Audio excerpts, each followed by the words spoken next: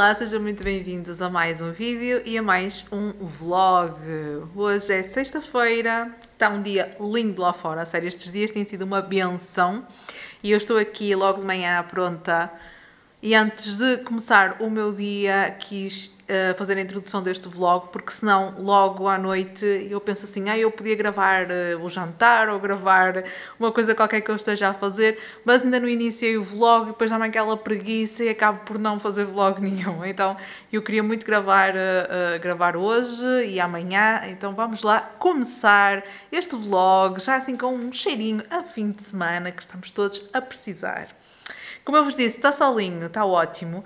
Eu já pus lá fora uma máquina de roupa que lavei, está outra mesmo mesmo a terminar e eu vou ter que correr para a estender, uh, para depois então deixar a casa. Tem que ser. Um, e mais coisas. O meu rasteirinho vai ficar a passar o aspirador e a mopa aqui numa parte da casa. Um, e depois logo, ao final do dia, eu passo a esfregona e, uh, e fica a casa limpa, o pó está todo limpo, enfim. Já fica. E como eu vos disse, era uma parte da casa porque. Olha, a minha máquina acabou. Uh, porque eu uh, ontem já deixei-o a passar no nosso quarto, casa de banho, escritório, também passou depois no quarto da frente e a respectiva casa de banho, e depois passámos a esfregona, pó limpo, cama feita, assim, Ficou essa parte logo arrumada. Hoje será então aqui sala, cozinha, casa de banho de serviço, hall de entrada e hum, o acesso aos quartos de trás. Assim, ele passa, logo passamos a esfregona e fica feito. Ai, e é isso. Desculpem, bati aqui com muita força. Eu vou já mostrar-vos aqui uma, ou dar aqui uma visão de como é que a casa fica para ele passar, mas é uma grande ajuda. Não ter que estar a chegar a casa e ter que barrer o chão e ainda ter que lavar e não sei, depois barrer levanta muito pó. Enfim, eu gosto muito deste, deste aspirador, foi bastante barato e cumpre muito bem com a sua função. Então, um dia destes eu faço um vídeo só para falar dele, para vos falar um pouquinho melhor. A nível de pó também já está tudo limpo, uh, é uma coisa que eu limpo várias vezes, limpámos várias vezes, porque realmente eu não percebo de onde é que vem tanto pó, mas a verdade é que uh, aparece sempre bastante, então é uma coisa que vamos limpando. E basicamente é, a nossa rotina de limpezas é essa: é vamos fazendo, o que importa é a casa estar limpa e vamos fazendo aos poucos conforme o tempo também dá. Uh, como eu vos disse, tenho uma máquina de roupa para estender, aproveitar que o solinho é de graça e assim também não tenho sempre a máquina a secar, a roupa também não se estraga tanto e eu no instante estendo a roupa, portanto é, é tranquilo, é, é mesmo tranquilo. Pronto, roupinha estendida, depois a casa então fica assim, tudo para cima para ele não andar a esbarrar em nada Todos os cômodos onde é para passar ficam abertos, os que não é para passar ficam fechados. Na cozinha, a mesma coisa. Um, eu deixo sempre a porta da minha máquina de lavar roupa aberta depois dela trabalhar para não ganhar cheiros. Dizem que também se devia deixar a gaveta, mas eu a gaveta por acaso não tenho muito hábito de deixar. Mas a porta fica sempre e pronto, a casa fica assim. Desculpem, aqui está um bocado escuro. O que é então para. Um, Deixem-me ligar aqui a luz onde é então para ele entrar fica aberto, sim. Não sendo para entrar fica fechado, que assim ele toca e sabe que não é para ir para ali. Pronto. Fazemos sempre isto algumas vezes por semana um, e torna-se rotineiro. É fácil, eu vou de um lado e levanto as coisas, o Bruno vai do outro e levanta-as também e no final é muito, é muito rápido. E quando chegamos a casa também, por exemplo, hoje queremos passar a esfregona, passar a mopa, se for só mesmo aquela hum, rotina de durante a semana de passar o, uh, o aspirador, ele passa, nós chegamos a casa, baixamos tudo num instante e uh, a casa já fica com outro ar. Pronto, fazemos isto assim bem rapidamente. E agora eu não vou poder gravar mais, vou desligar, senão também o vlog fica enorme. Olhem, já está, já está a passar a venda do peixe. Um, mas logo uh, devo de ir ao supermercado e mostro-vos aqui. Vou ver mas em princípio será. Mas uh, também não são nenhumas compras assim muito grandes, porque eu fiz a compra do mês a semana passada. Esta semana basicamente é repor frutas e legumes e uma ou outra coisa que faça falta ou que às vezes esteja em promoção e eu queira aproveitar. Mas é mesmo umas compras assim muito mais uh, softs e é também por isso que eu gosto de fazer a compra do mês, porque depois consigo fazer as compras à sexta-feira de uma forma muito mais rápida e, e é isso, já falei muito, por isso agora vou desligar a câmera e voltamos a falar mais logo.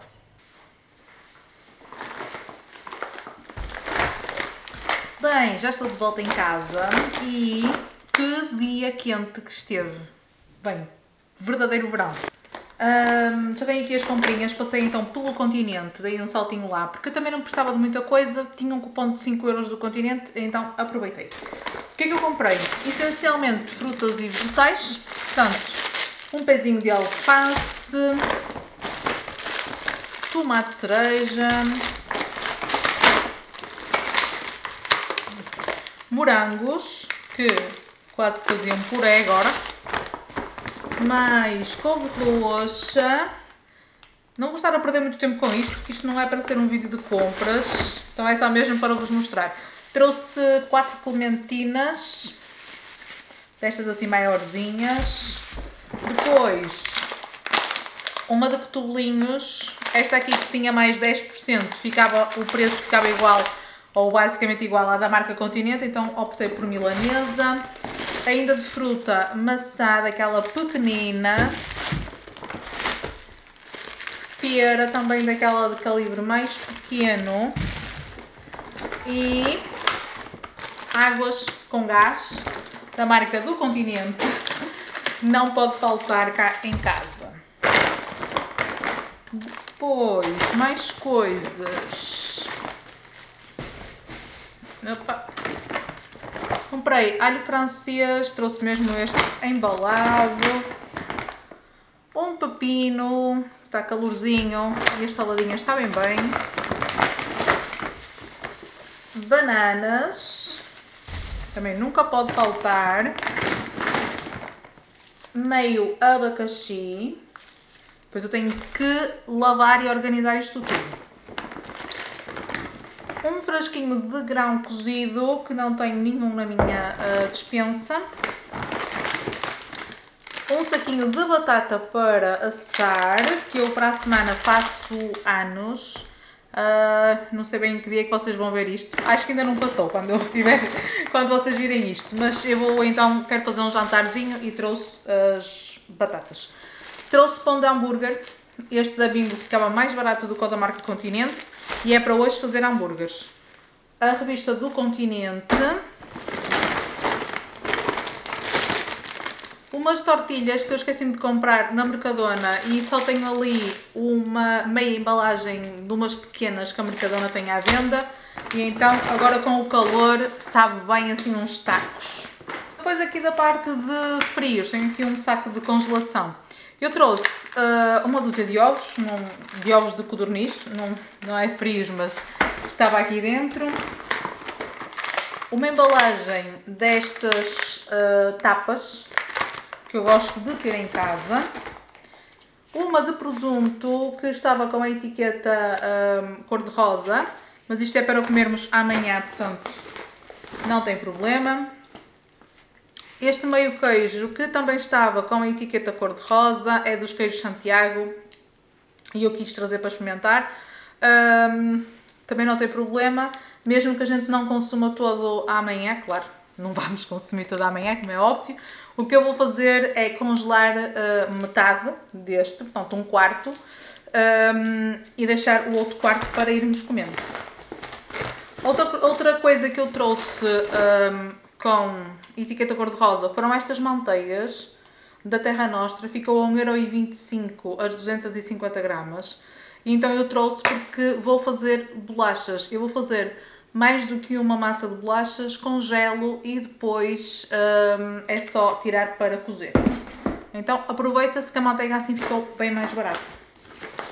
Mesmo assim, eu trouxe dois pacotinhos de manteiga para ficar, porque não tinha nenhuma no frigorífico e umas batatinhas congeladas para fazer na air fryer hoje à noite com os hambúrgueres e uma saquinha de jardineira que também eu gosto sempre de ter.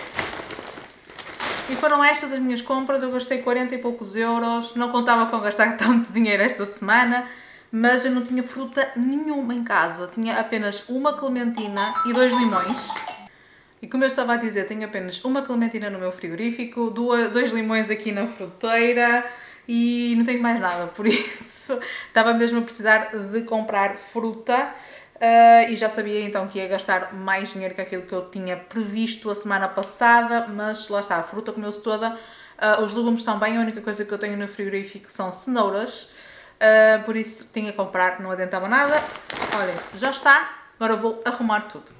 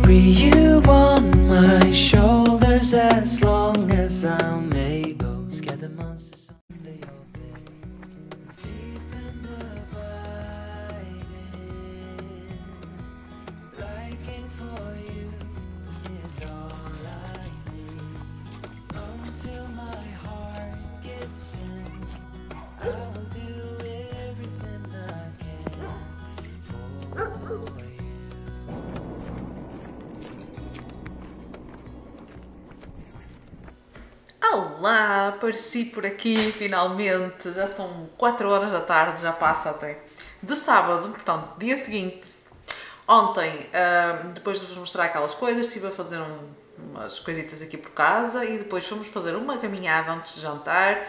Voltámos, fizemos o jantar, jantámos e vimos um filme. Portanto, eu gravei aqui uns pequenos clipes só para vos mostrar. Hoje de manhã foi o pequeno almoço Fomos fazer outra caminhada e, e uh, aproveitar que está solinho.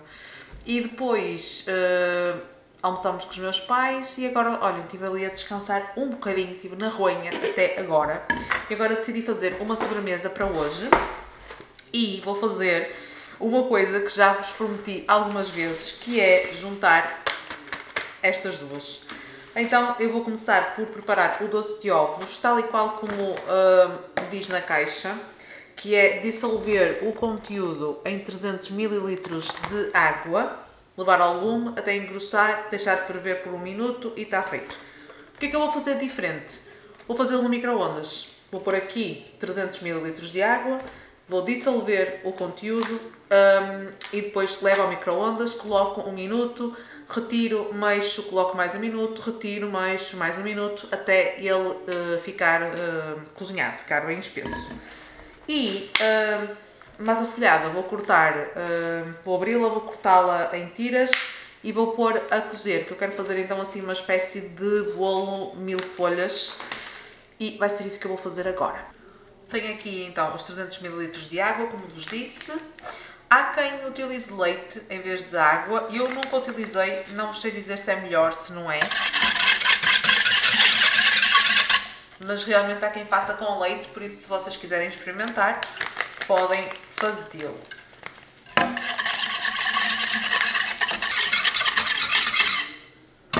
Pronto, o conteúdo da saqueta já está dissolvido, agora eu vou pôr, como vos disse, eh, no micro-ondas, um minutinho de cada vez até o creme ficar cozido. Eu ponho um minuto, retiro, mexo com o batedor e ponho mais um minuto e por aí vai. Em relação à massa folhada, eu hum, já liguei o forno a 200 graus para ele aquecer e vou então abrir aqui a embalagem.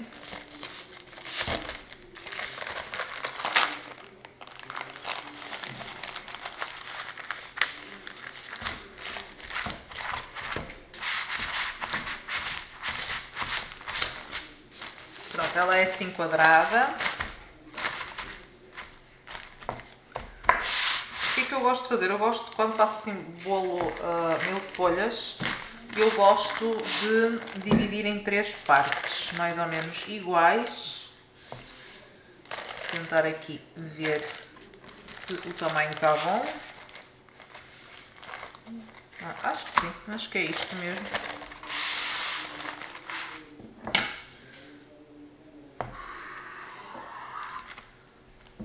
Fica muito certinho, porque eu também não estou aqui de régua, mas é mais ou menos isto.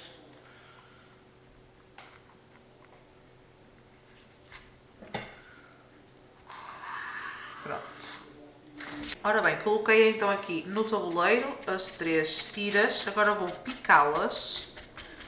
E eu tenho que trabalhar isto o mais depressa possível porque hoje está um dia bastante quente e a massa começa a ficar muito mole, então eu tive que uh, colocar aqui no tabuleiro o mais rápido que eu consegui para ela não começar a querer colar-se. Eu vou uh, picar as três tirinhas de massa folhada.